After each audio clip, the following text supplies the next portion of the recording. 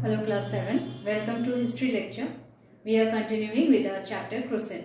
And today we will do the first crusade.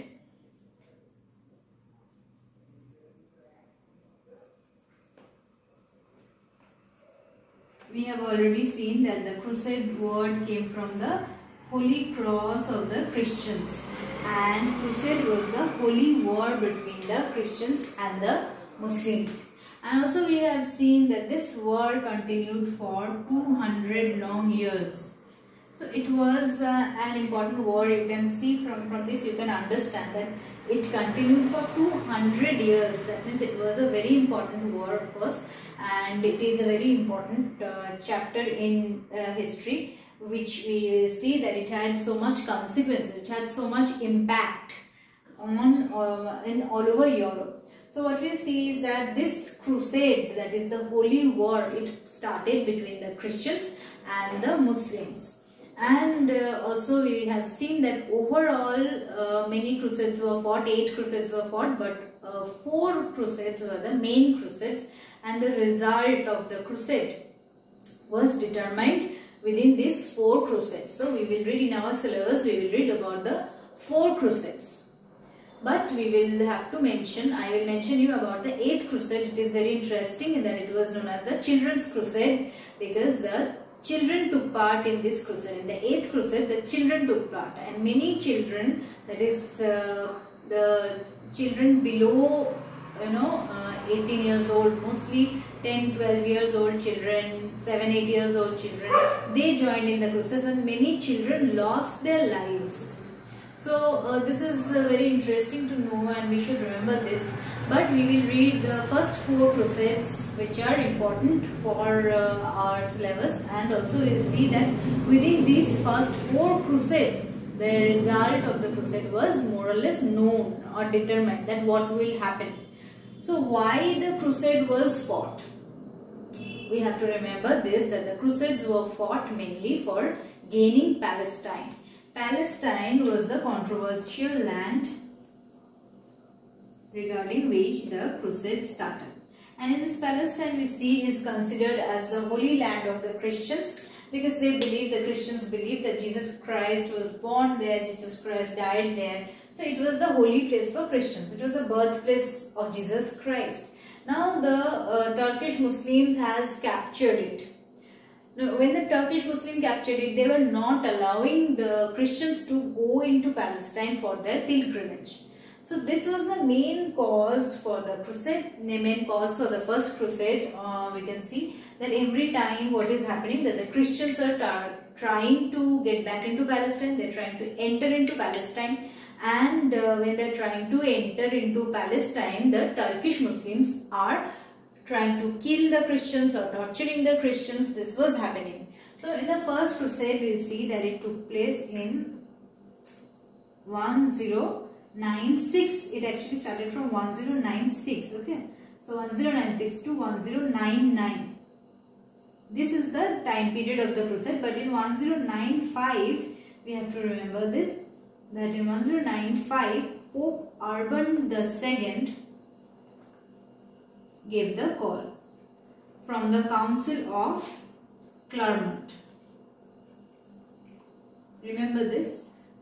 Who gave the call and from where that you have to remember for objective. Pope Urban II gave the call for the first crusade and he gave the call from the Council of Clermont in France. So we see that after he gave the call, just after one year in 1095, that is 1095, he gave the call for the first crusade and in 1096 the first crusade started. So he, he, he urged all the Christians to join in this war to save their holy land Palestine from the hand of the Turkish Muslim. And we see that the majority of the Christians answered his call. They were willing, they were ready to join the war against the Muslim. And we see that Pope had also written letters to kings for joining in the first crusade. And in this first crusade, another thing you have to remember is Peter, Peter the Hermit played an important role. He went from place to place and he, he gathered many followers, he gathered many supporters of the first crusade. So Peter played an important role. Peter the hermit went from place to place and gathered many soldiers, many supporters because they needed a huge number of supporters. So due to this what is happening that Peter the hermit is a very important person for the first crusade. Now first crusade started in 1096 and uh, it continued till 1099.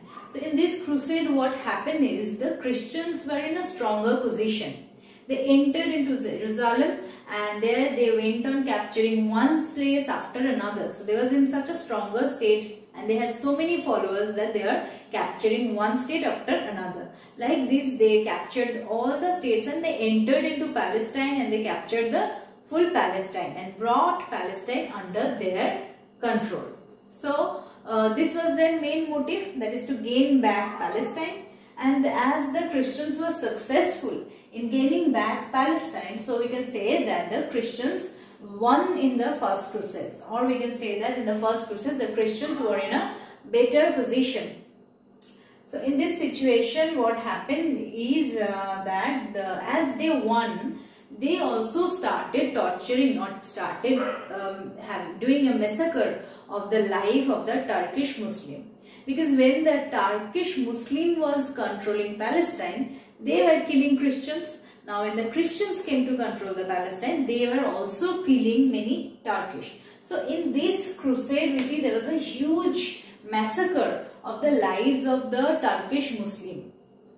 And the Christians won this crusade, they gained control over Palestine. Now they could easily enter into Palestine they could go to Palestine for their pilgrimage and they uh, started you know doing a massacre of the life of the Turkish people. Now in this situation uh, what happened is uh, that the, uh, the Pope Urban II who gave the call, he gave the call to the kings also, common people and the kings. But we see that in this uh, battle in this first crusade, the kings did not participate. It was mainly participated by the knights and nobles. The knights and nobles participated in this crusade and the knights and the nobles played an important part in the fight and they were actually the main reason for winning victory in the first crusade. So knights and nobles played an important role in the first crusade and they helped in uh, gaining victory over the first crusade.